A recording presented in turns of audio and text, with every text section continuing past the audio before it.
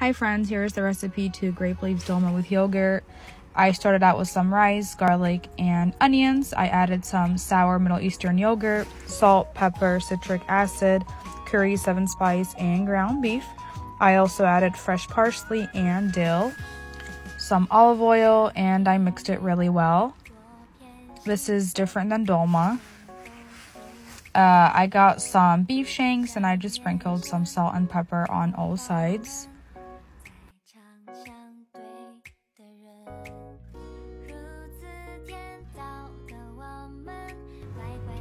I went ahead and added some oil and I seared all sides. Um, they were a little too big, so I did cut them. Uh, this is all up to you. It's whatever you like. Into the same pot, I added fresh garlic and I washed the fava beans and I added it to the top. And this is when I started rolling the grape leaves.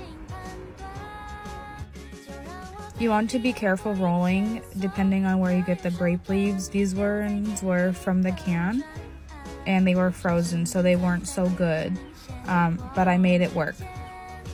I just added some rice mixture to the middle and I rolled them up. This is my first time making this recipe so I made a smaller pot than usual.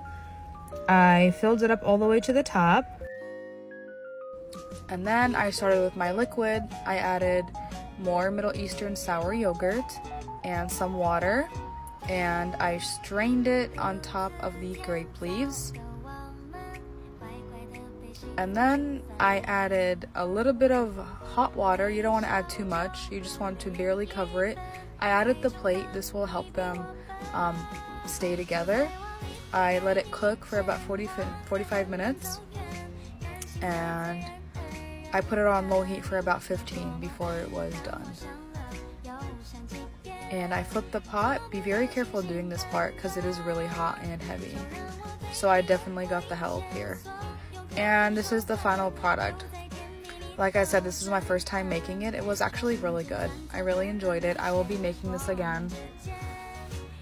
Uh, this is a Middle Eastern dish as well. I don't think it's an Iraqi dish. I think it's Lebanese. But it was super good. I hope you guys try it. Let me know what you think.